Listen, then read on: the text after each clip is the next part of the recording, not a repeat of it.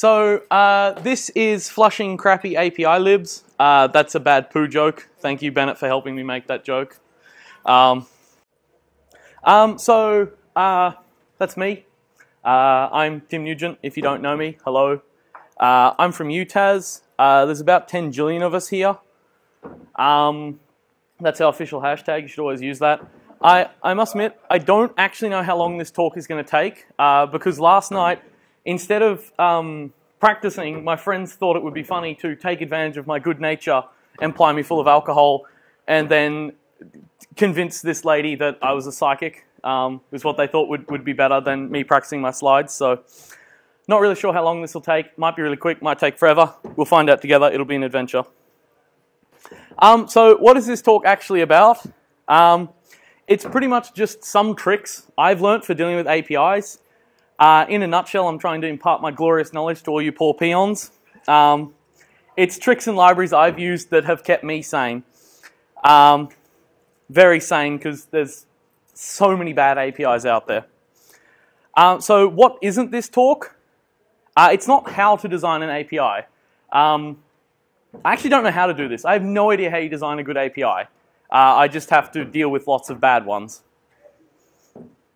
Um, it's not how to deal with a specific crappy API. There's way too many out there to focus on a specific one. Uh, and I don't think it'd be very interesting to sort of go through how the Twitter API is bad. Uh, I think that would be really boring. Um, it's not how to deal with your crappy API. You're on your own. Um, if you wrote your own API and it sucks, tough. If you're using someone else's API and it sucks, also tough. Um, I can't help with that. You're just going to have to hopefully gain enough knowledge from this that uh, you can do it. And I hope that does actually help. Um, so, APIs. Uh, what are they? Um, in a nutshell, they're comprised of two things. Data, which you interact with and send across, and network, which is how you send and receive the data. Um, that's all they really have uh, from your perspective as the developer. Ideally, you should have a nice, clean, smooth interface. Everything should be obvious. This is a nice sphere. It's got two arms. It's very clear what's going to happen here. Everything's nice and simple. However, what you end up with is this. Uh, it's lumpy. It's covered in dirt. There's leaves popping out of it. Uh, it's got weird things. You'll end up downloading huge amounts of data. You'll end up people doing weird things with their data. Could be, you know, ugh. you don't know what you're going to end up with, but you're the poor sucker who has to deal with this horrible mess and, and make it the nice smooth sphere for the user's perspective anyway. So uh, I want to first talk about data. Um, the, the two popular kids on the block are XML and JSON. Um, occasionally, you'll also still see CSV or TSV for tabs or arbitrary separator V. I'm, I'm going to actually focus on XML first uh, because XML is probably the bigger of all three, I would say. Um, the main advantage of XML is it's got this nice tree-like structure. An XML document, assuming it's not just like an Excel spreadsheet uh, that's been exported, uh, should have a nice tree structure. There'll be some sort of root object and then sub-objects below it which uh, change how it works, change the data. Problem is almost no one does it like that. Uh, people just throw everything in. They think just putting chevrons around stuff suddenly make it great XML. It just makes it hard to parse. Um, but uh, there's there's two main ways of dealing with XML. There's SAX, which is simple uh, API for XML, and uh, DOM, which is Document Object Model. So having a look at SAX um, first, SAX is kind of interesting, uh, and it's very popular on mobile devices. Uh, it, it's basically you're dragging some sort of parser through the tree as you go along, and every time you run into something, so every time the baby hits something, you get told about it, and then you deal with it. Um, it it's really, really fast, stupidly fast. Um, really, really, really low memory, uh, and that's why Apple wants you to use it. Uh, the biggest problem is it's a real pain in the ass to use. Uh, so Apple want you to use this NSXML parser thing. You know, that's not too bad. You know, you're in it with some sort of data. You set a delegate, and then you run into these did start element, namespace, URI, qualified name, attributes, did end element. My uh, mic is not very sticky. Um, I'll just hold it. Um, so what, what you've got then is this did end element, namespace, URI, qualified name, attributes, etc., etc., etc. And every time you run into an element, your delegate gets told. And it's up to you to then create the data out of it, deal with it, store that somewhere. So you're basically, in my opinion, throwing away the good thing of XML, which is this lovely tree. Um, it is really fast though, and it is really low memory, so it is sometimes uh, useful. Um, so if we go back, the other option is DOM, uh, which is the document object model. And that is pretty much in a nutshell, just loading the whole thing into your memory, storing it in your vault. Um, the problem with this is because you're loading everything into memory, it's really memory inefficient. That's the, uh, the trade-off. But it does let you access any part of the tree at any time you want, um, which, to be honest, is probably what you're going to want to do most of the time. Someone's sending me iMessages. Um, so I want to talk about RaptureXML, which is a third-party library. Um, it's actually amazing. I actually prefer XML now than JSON in the past because of how good RaptureXML is. RaptureXML is actually amazing. So um, if you've got some sort of data like this, uh, it's, it's a collection of characters. Um, to ah, Mike, good job with the mic, Tony. Um, so uh, to grab this, you pretty much just create a RXML element. Uh, you grab the element from the file. Uh, in this case, I've just called it adventuretime.xml. Obviously, you have to grab that normally. Um, if you want, you could just actually print out the tag. There's a property on every XML element, which is the tag itself, and then suddenly you'd be told show. Um, you can grab attributes of it, such as the name of the show in this case, and that'll respond with Adventure Time. Uh, you can just grab, as a child, any element from it. You can just go, I want the child that is called characters, and that will just return it. It'll return nil if you have put in a invalid um, identifier. And then from there, you can actually uh, grab an array of all of the children inside there, and they will also all be RXML nodes inside that, uh, which is also quite nice. And then from that, you could go, you know, I want the object at index, and I want his name, and I want that converted into text, and that'll spit out Finn Human in this case for us. Um, so by itself, in my opinion, this already makes RaptureXML better than anything else you'll ever do with XML, just because of how simple it is to get and work your way through the tree. Uh, it actually gets better. Um, RaptureXML is like block mad. Uh, I'm also block mad, this meshes very well with, with how I think things should be done. RaptureXML has this thing which they've called block-based queries through iteration. And basically, you grab your root node and you go, uh, I want to iterate over everything which matches characters, and then inside characters, I want to match every villain. And I want it to use this block to do it. And that will spit out inside that block, that character is an individual node of that child. So in this case, if you run it, you'd get Magic Man and Hunson Abadeer because they're the villains. Um, but say, for example, you, you want to be a little bit less specific and you just want to know all of the ages of every character, so you don't care whether they're heroes or not, you can actually use wildcards inside the query strings as well. Um, so you can go like characters, star, age, and then that will return all the ages of every single character inside the XML. So in this case, 200, immortal, 15, etc., etc., etc. and if you really want, you can use iterate with XPath and pass in an XPath string if you know what that is. If you don't, use their query strings, it's better anyway. Um, so that's XML. Uh, the next one would be JSON. Um, I actually like NS, NS JSON serialization. I have no real problem with it. Um, some people have told me they prefer SBJSON, um, but I, I've never had any issues with NSJSON serializer, so I think if you just read the Apple docs, you should be set with that. Sorry. Uh, so then finally would be CSV. Uh, so CSV is a little weird. Um, it, it's you, you, you're wrapping your variables inside a line and then they're separated by a comma or some sort of separator value, generally a comma, sometimes a tab. Occasionally you'll see semicolons or colons used. Um, and it's not hard to write your own parser, but why would you when there's plenty out there already? Uh, one I've used in the past is called CHCSV parser. Um, so imagine your data is separated like that. Uh, so it's pretty similar to what the XML was, but now it's a CSV. Um, to go through that, you they actually add a category to NS array, so you can just go array with contents of CSV file, pass in a file path, and then that returns an array of, well, arrays of arrays inside of which are text. So you can grab every individual element out of it uh, if you want it. So in this case, we're grabbing out the age of everyone inside that CSV. Um, as an added bonus, there's different options for how you want to parse it inside this. So you can make it an arbitrary separator if you want. So if you've for some reason got a ampersand separated value file, uh, you could just pass in the ampersand as one of the options while you're parsing it. Um, it, it, does have this thing called CHCSV parser delegate, uh, which works basically the same as to how NSXML parser delegate works, but then you're back to dragging the baby through the forest. Um, so I don't see any point in that. I don't think it really adds any advantage. Um, speaking really quickly, so I'll slow down a little bit.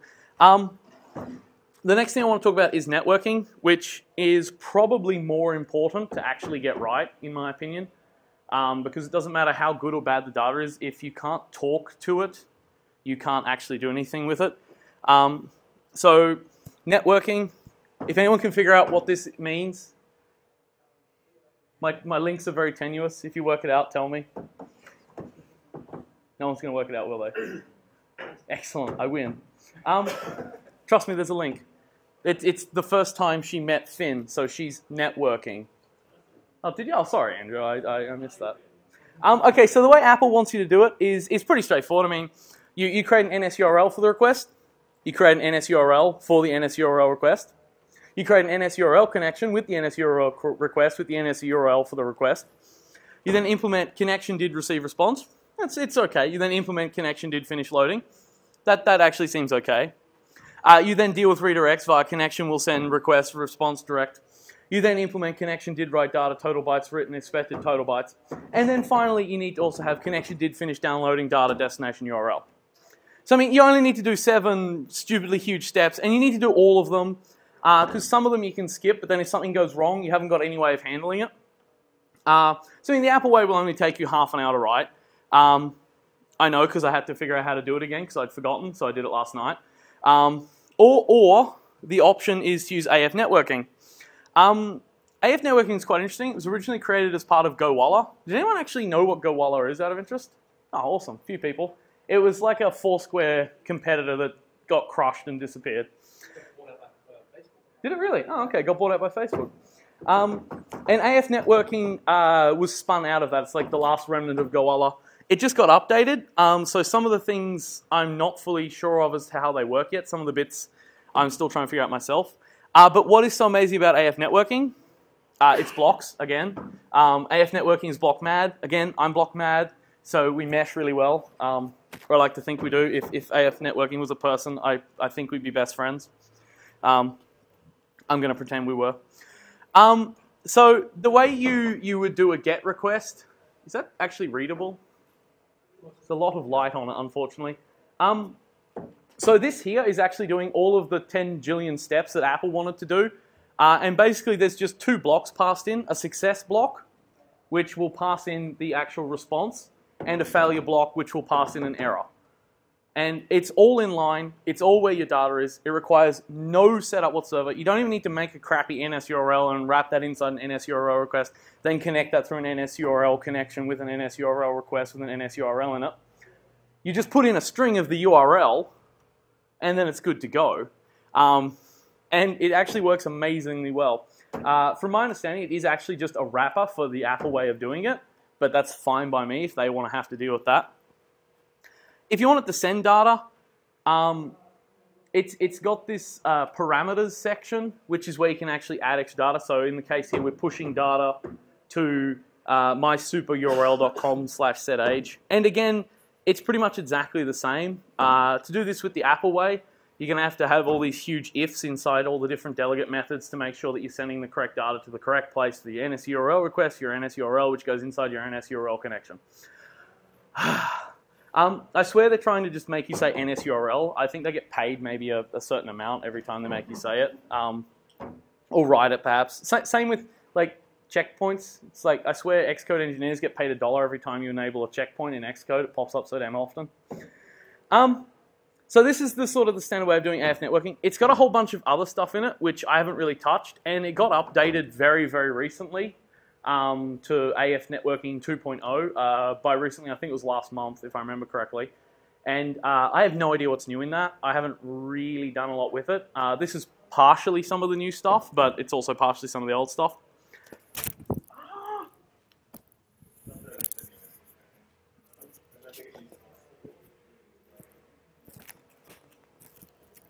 But yeah, there's a bunch of new things in there, uh, which I don't fully understand myself because I've not actually done enough stuff in it to say. But AFNetworking is still far more amazing than using uh, NSURL connection. Um, so I, I, want to talk a bit about socket programming. Um, see, that, that one's an easy connection, yeah. Um, so um, something I, I, learned quite recently is you actually have no idea how damn good HTTP um, communication is until you have to deal with sockets directly. Uh, I actually had no idea how much HTTP actually sort of covers all the crap that you have to deal with. Um, and you won't understand how good uh, the library I'm going to show you is until you understand how bad you have to do it the other way. Uh, so I'm going to spend a couple minutes just briefly trying to show you how Apple wants you to do socket programming. Um, so does anyone remember NSStream? Uh, the thing that always pops up when you're typing NSString um, is, is how I remember it. Uh, that, that's pretty much is, that's what it is in my head. Um, so there, there's two subclasses, NS input stream, which is for dealing for input, and NS output stream, which is for pushing data back out. Um, the thing is, they're actually useless. Uh, they can't talk to anything, really. Uh, so you also need their, their core foundation buddies to come along for the ride. So now you've got a so you've got an NS input stream, an NS output stream, a CF uh, read stream, and a CF write stream. Yeah, write stream. Sorry, write stream ref. Um, and they can actually do things. They can connect. The NS streams can't. They are just a nice wrapper for them. So then, I mean, it, you know, it's not too hard. You just you get connecting there. So you got this CF stream create pair with socket to host. I mean, that that's not too bad. Um, that, that's how you actually connect to the host. Um, now you can actually start using your NS streams that you created. Uh, but first, of course, you have to toll-free bridge them to their core foundation variants because I don't know why Apple decided that for some reason you can't just use them directly, whatever reason. Uh, now is when you can actually use them. Uh, so you've now got this uh, input stream open, output stream open, uh, and then this is when you can start sending and receiving data through it. Um, the great thing is now you have to deal with the delegate methods again, because uh, Apple loves delegates. Uh, so, you know, this one isn't too bad. You sort of got stream, handle event. Um, this is technically the only one you have to implement. Um, the great thing about this one, though, is that event parameter that gets passed in. I mean, there's like six variants upon that, uh, and you also don't know when you've been told something because, unlike HTTP, there's nothing to rearrange it for you into the nice neat order at the other end. You just get sent packets whenever the hell you get sent them, and then you have to deal with what you sent. So you don't know whether it's you'll know whether it's the input or the output stream, but you don't know from which packet you sent it's the input and output stream. You have to work that out yourself using these events. So I mean, you've got you know NS stream event none. I have no idea what this does. Does the delegate just occasionally get called with nothing? I'm not sure. Apparently, there's a none event. I mean, to go alongside that, there's completed, which is when it's finished or when it thinks it's finished talking. And then you've got has bytes available, has space available, some event error occurred, which is really great because it's very helpful as to telling you what's gone wrong. Uh, and then you've got event end occurred. Uh, how that's different from completed, I don't know. Um, oh, one's opening, one's closing. There you go. Uh, so I was doing an application recently, and it was all socket programming, socket programming with XML, which seems really weird to me, because why, why using a high-level data structure with a low-level networking idea? I don't know. Um, that was a lot of fun, and I spent about a week writing this this stream sort of connection library to try and talk to things, uh, and then I actually found GCD Socket Async. Um, it's an updated version of Cocoa uh, socket async. Uh, it's updated to support Grand Central Dispatch. It supports it by default. In fact, you have to support Grand Central Dispatch. If you don't, it won't work. Um, but that's actually good. And for the amount of things that this abstracts away for you, it's actually pretty much magical um, for what you get. Uh, so you no longer need four different streams just to connect. You now actually have just three lines. Um, you create a socket queue. Uh, sorry, you create a dispatch queue. Um, I don't know how many of you guys have actually done dispatch queue stuff before. I'm assuming a few of you have. It's basically just a new queue to run Grand Central operations on. Uh, and it's a good idea to do that so you're not mucking up your main thread. Um, so I'm just creating a new dispatch queue for, uh, to do things on. And then there's my socket is the next line. Uh, I'm just allocating it and then initializing it with a delegate. Uh, and then I'm passing in the queue that it wants to operate on. Um, so by default, it's already running on a secondary queue, so it's not going to mess up with your main thread. Uh, and it's already done everything that the previous eight lines required. And then I just go connect to host, pass in the IP, pass in the port. Uh, you can add a timeout in, which is actually really cool. Um, if the timeout is a negative number, it will keep trying until either the app crashes or the user quits it or something else interrupts it. Um, if you don't have the timeout, if you do put a timeout, it will try and follow that. It's from my testing, it's not 100% guaranteed. It seems to be a little bit of fudge factor in there. So I was playing around with sort of five second timeouts for some things, and sometimes they time out after three, and sometimes they time out after about eight.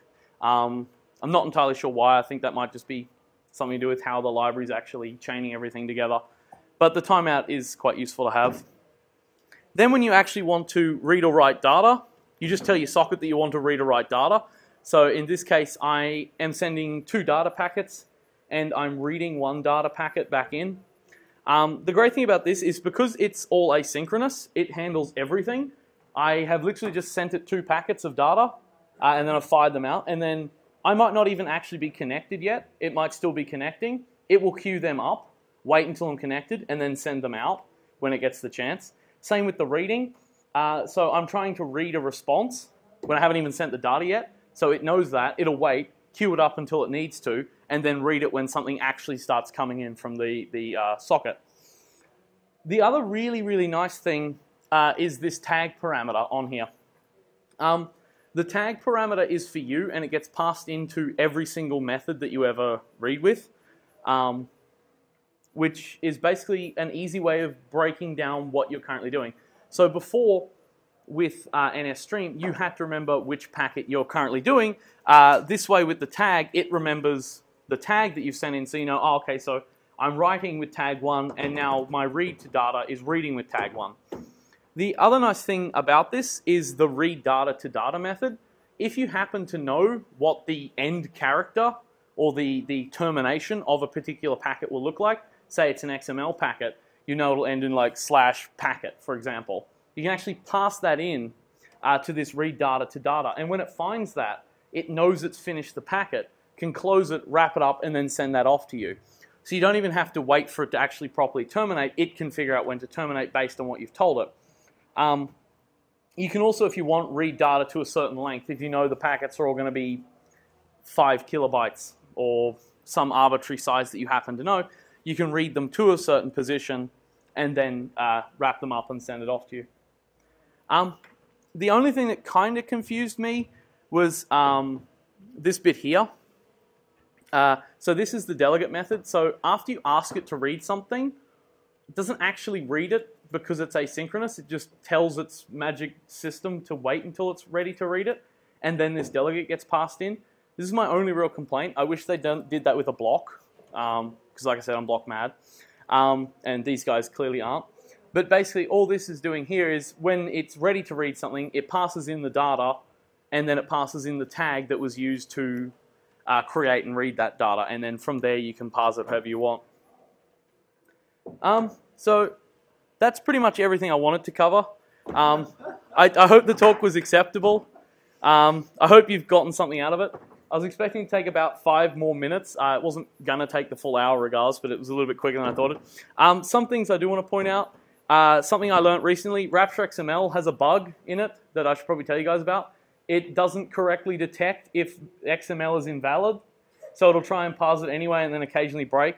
So I found a really great trick for this because NSXML parser is so fast and so low memory, I do a quick parse through with that, and then if that finds an error, I don't pass it through to RaptureXML. Uh, otherwise, I I, uh, I just pass it pass it straight through. Um, it's a horrible, dirty fix, a hack for a horrible, dirty bug, and Is, is, is that because uh, Rapture's trying to be tolerant of bad XML? I'm not entirely sure. It's got unit tests, which he shipped with at least the version when I was using it uh, was shipped with unit tests. When I ran them, it failed at his own unit tests. So I think the guy who made it just honestly made a mistake, and I- I'm assuming it'll be updated sometime soon. Just didn't put any, any error handling in it. It's not, Yeah. it's not there. And Science, Science Week uses RaptureXML. I, I parse it Yeah. its XML first. Yeah. And then, and then if, it, if fails, you don't, you don't it. Yeah, it, it the only way to- that's the only way I think of it has a parse um, property, which is a boolean of uh, true or false, uh, yes or no, as to whether it was valid. Uh, sorry, it is valid, um, and that's always true. No matter what you do. No, like, it, it will fail, but there's no exception handling, so it just crashes. Yes, yeah. So, like, it doesn't, it doesn't fail gracefully, it just fails a lot. That said, even though it's horrible, I, I still prefer it um, simply because of how easy it is. Yeah, uh, it's really not that hard to go. You know, if NSXML parser with file blah returns yes, do this. Otherwise, no. Um, but yeah, that's pretty much the talk. Uh, I hope there was something good in there for you. Uh, if not, you can feel free to throw things at me. It's okay. I don't mind. If you have any questions, shout out. Um, That's a stretch question or a question? Yep. Okay. Um, uh, Dennis upward stream appears to have a right. Yes. Um, Um. Oh, how to use uh, the write method? Oh. is, isn't that what you were doing for free bridging? Well, yes. Yeah. No, no. Topbridge was done to convert the, the CF stream which you created in CF sorry. socket create, etc. Um, if if hang on, I'll just. Where is it? Uh, So it wasn't the other right. No, um, the CF stream. that one there. Um, okay, so I looked into this. NS inputs. The NS stream is essentially a really, it's a Cocoa-ified wrapper around CF stream. Um, So to initialize it, you need to initialize it as a CF stream first, and then you can convert it into um, an NS stream. NS stream is much nicer to handle than Cocoa uh, than CF stream because I tried that first, and like ended up crying and like Yeah, no, dr- drinking I don't know absinthe or something. The other thing was AF networking. Can you change the headers other than the front? Yes, you can. Yeah, um, but I didn't really go into that because most of the time you don't need to. AFNetworking, you can just build up an entire packet yourself and send that across if you want. Um, and you don't have to use the pre-built get, push, and put methods either. They're just the easiest way of actually um, creating because they deal with most of the things you're going to be doing. There, there is a more general um, AFNetworking manager, I think is what it's called from memory, that is lets you create arbitrary things and send it, as opposed to using pre-built ones. But most of the time, you're generally doing something that's going to be a get, a push, or a pull, a put. So um, it, they've got predefined uh, um, methods for those. AFNetworking is really good though. If you haven't used it, look at it because it's it's amazing. It's like I'm kind of glad Gowalla died because it's spun off AFNetworking. So It's, it's actually mostly uh, the, work of, Matt Thompson. Yeah. Um, and uh, he now does most stuff for does he? Oh, okay. There you go. Any other questions or pelting things at me? No. All right, cool. Uh, so thanks for coming.